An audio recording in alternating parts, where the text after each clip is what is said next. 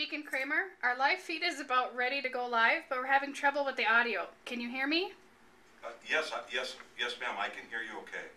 The Holy Father's mic is getting a weak signal, but go ahead, Deacon, because of time restraints.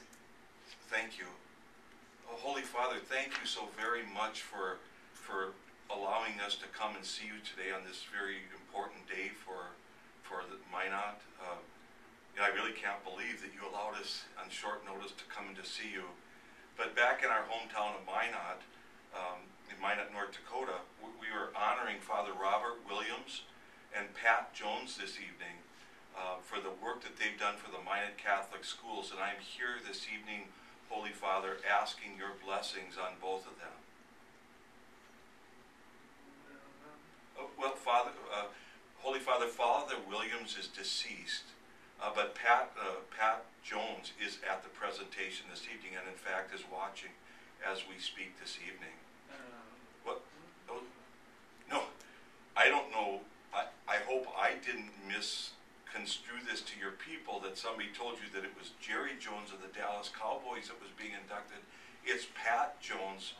And, and if they told you that we could, you could get good seats every time you're in Dallas, I'll try to relay that to the Cowboys and see what we can do. But it is Pat Jones.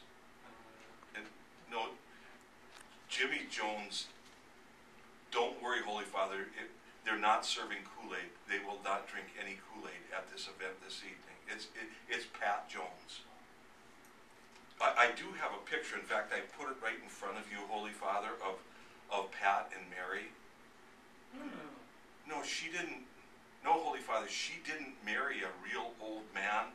He's got white hair, uh, you know, but he's not an old man. In fact, they were very close to each other at uh, at Bishop Ryan High School. They graduated from Bishop Ryan together. They're very close in age.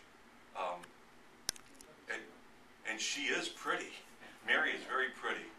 Well, I, it's awkward, Holy Father, but it, you know, if you say she's hot, then she's hot, and she, she, I guess, okay, she's hot. They have three great sons. Chris is the oldest. Then Eric and Matt is the youngest kid, and they're, they're just great kids. Wonderful kids, Holy Father. And yeah, uh, uh, yes, Pope Benedict, Bishop Zipfel is at the presentation this evening, and I worked with him uh, twice in the last week, and he's really doing really good. Although I think it's, I think he is anxious to to be retired. So whenever you can find it upon yourself to name his successor, I think he would be greatly uh, happy about that. Oh, you've got to be kidding me. Four more years?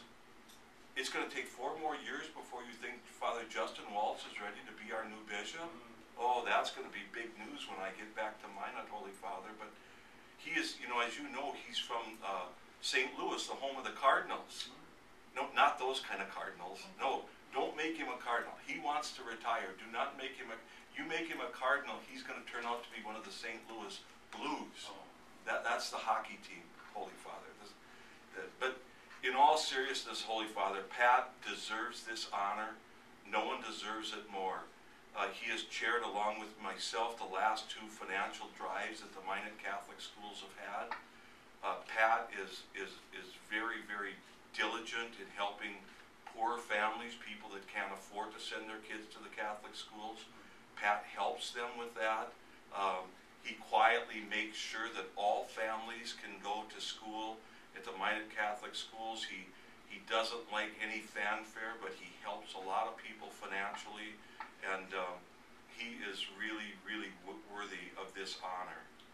And, and, but no, that his coaching, uh, along with Donnie Wald, has nothing to do in helping Pat McNally with this award. He had he had nothing to do with that award, and no, it wasn't me that was hollering at Pat Jones from the, from uh, Pat McNally at the stands. It was it was someone else, I think, that hollered at, at Mr. McNally. But his coaching prowess had nothing to do with this award.